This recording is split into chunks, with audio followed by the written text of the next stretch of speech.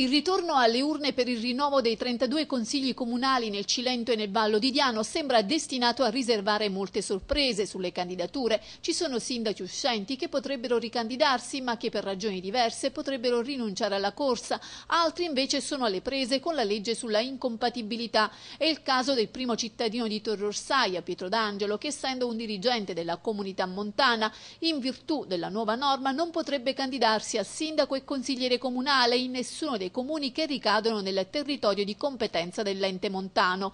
Il gruppo di maggioranza è alle prese in questi giorni con l'interpretazione della legge in questione. Se gli accertamenti stabiliranno che D'Angelo non può riproporsi agli elettori, al suo posto potrebbe correre il consigliere uscente ed ex sindaco Giuseppina Vairo. Tra i sindaci al primo mandato che rinunciano alla candidatura c'è Francesco Pulito di Casaletto Spartano che cederà il posto al suo predecessore Giacomo Scannelli. Anche quello di Sant'Arsenio Segno Nicola Pica sembra orientato a gettare la spugna. Solo nei prossimi giorni saprà indicare la sua scelta che comunque, anche per ragioni professionali, sembra orientarsi verso la rinuncia alla corsa.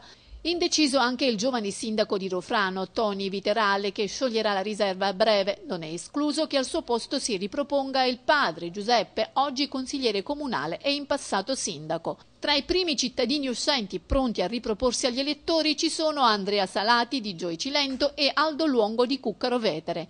Atteggiano Michele Di Candia, ormai al secondo mandato e alle prese nella scelta del suo successore, due i nomi in ballo. Stesso problema da risolvere per il primo cittadino di Morigerati, Cono Delia, anche lui in affanno nell'indicazione dell'erede, come lo è d'altronde il sindaco di Sala Consilina Gaetano Ferrari, che dopo dieci anni alla guida della città si ritrova a dover decidere a chi della la maggioranza affidare la corsa senza dividere il gruppo, impresa ardua visto che gli aspiranti sono più di uno. Mentre ad Alcea l'amministrazione uscente sarà rappresentata da Antonio Criscuolo, che avrà in lista anche il sindaco decaduto poche settimane fa, Mario Rizzo.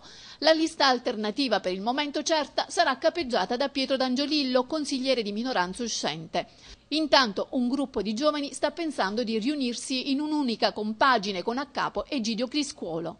A Torraca, comune recentemente commissariato, il sindaco uscente Ferdinando Ciamba non ha ancora scelto la riserva, ma quasi certamente sarà di nuovo in corsa per la carica di primo cittadino.